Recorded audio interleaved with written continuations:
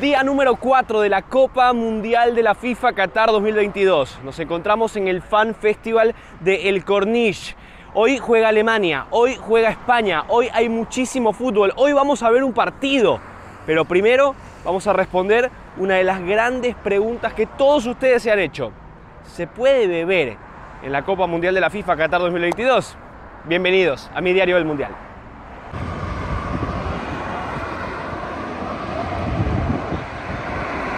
Llegó ese momento que muchos de ustedes esperaban. Llegamos a la FIFA Store, a la tienda de FIFA en el Fan Festival. ¿Quieren ver cuánto cuesta un souvenir por acá? Dale, los muestro. Arranquemos por uno de los favoritos, gorras. De todos, bueno, casi todos los países, por ejemplo de Ecuador no encontré. De hecho, de Ecuador he encontrado muy poca mercadería, pero 95 reales cataríes, las gorras, como ustedes pueden ver, tienen la bandera, el emblema del mundial, son merchandising oficial. La estrella, el dueño de la fiesta, el dueño de la casa, la IB, cuesta 199 reales cataríes. Viene así. La verdad que es muy abrazable. Después tenemos merchandising ya oficial de las elecciones. Camisetas de concentración. Muy linda esta de España, ¿eh? Muy, muy bonita.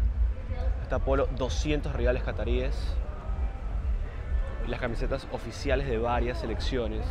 España, Alemania, Argentina.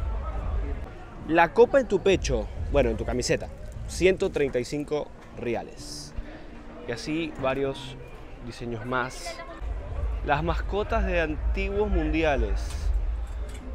Los hermanitos alemanes del 74, Naranjito del 82, el póster de Uruguay 1930 y otros pósters más de los mundiales. Lindo esto. 155 reales cataríes con el emblema de Alemania 2006. Probablemente el mundial más recordado por nosotros los ecuatorianos. Acá hay más. Inglaterra 66. Francia 98. Mi amor, discúlpame, me fui un mes al mundial, a Qatar, te dejé botada en la casa, pero te traje un peluche, quedas como un bacán, por 50 reales cataríes. El local tiene su sección, la Federación Qatarí de Fútbol. Tiene aquí todo su merchandising, camisetas. Está muy linda esta alterna. La oficial no me gusta tanto, pero es linda también. Tiene sus detalles. Doña Al Rila, 620 reales cataríes. La pelota del mundial. Ey, con la que juegan en serio. Versión juego. Pues bien, termos por acá, perfumes por acá, dedicados a los campeones, a Alemania, a Argentina, a Brasil, a Francia, a todas las selecciones que han cosechado títulos mundiales. Muy lindo esto.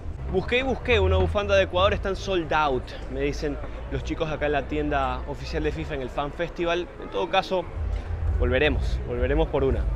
Hasta que la encontré. La camiseta de Ecuador, sí, de mi país. Bueno, les voy a decir la verdad. El diseño no me encanta, pero es de Ecuador. Pero no me encanta. Pero es de Ecuador. Bueno, voy a dar una vuelta y tomo la decisión. A ver, gente, la vaina es así. Está muy buena la música. Hicimos un par de compras. Pero no hay cerveza. Hasta después de las 7 de la noche no hay cerveza y no en esta zona, sino en otra zona del FIFA Fan Festival.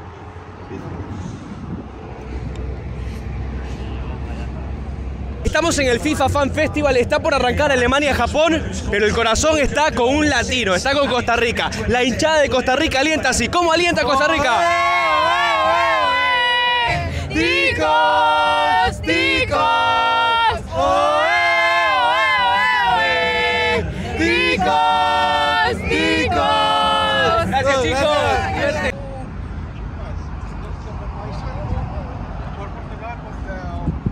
Ahora sí, rumbo al estadio Al Tumama para ver España-Costa Rica. Hemos visto ya un rato del Japón-Alemania en el Fan Festival y nos vamos hacia allá. ¿Cuál es el camino? Muy parecido al que les mostramos hace dos días para Senegal-Países Bajos. Es decir, vamos a tomar el metro y después vamos a tomarnos el shuttle oficial rumbo al estadio.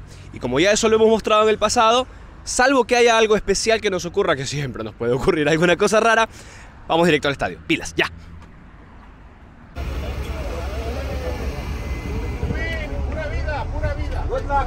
Hello. Eso, Costa Rica. Vamos. Bienvenidos una vez más al estadio Al Tumama. Ahí está, dentro de un rato. Entramos y se viene España-Costa Rica.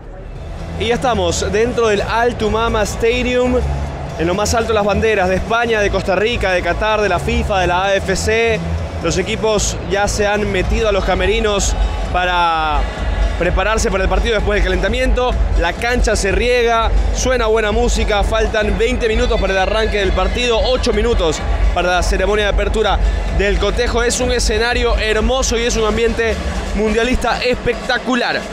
Y como dicen que en la vida hay que ser muy agradecido para que te vaya bien, hoy estamos con Costa Rica, porque sí, por Luis Fernando Suárez, por la historia que tiene con Ecuador, por Alemania 2006, hoy estamos con Costa Rica. Pilas.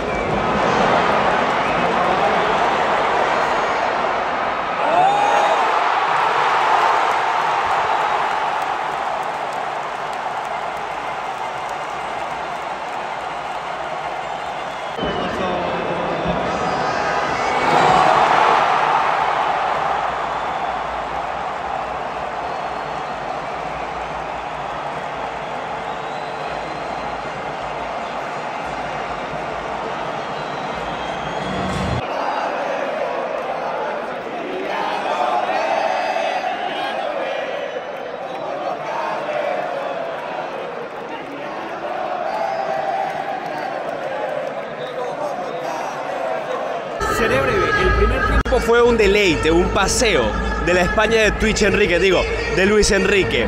Realmente sensacional.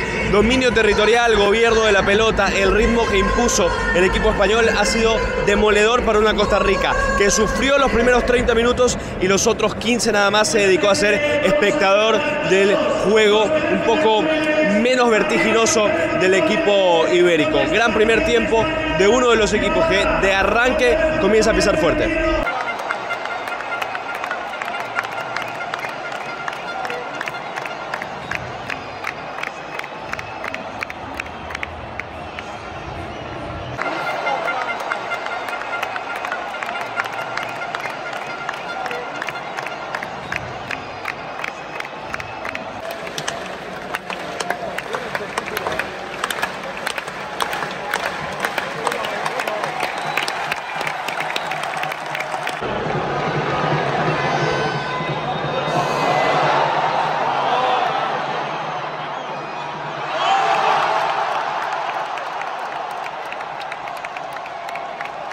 ¿Qué se puede decir? ¿Qué se puede argumentar después de un 7 a 0? De una goleada tan aplastante, apabullante como inmisericorde de una España coral, de una España casi perfecta, tremendamente precisa contra una Costa Rica que verdaderamente no compitió en su debut mundialista. Gran partido de Busquets, gran partido de Gaby, de Ferran Torres. Los cambios no le bajaron el ritmo a España. España que ha comenzado, no diría con pie derecho, ha comenzado de una manera que muchos no esperaban por la juventud de este grupo.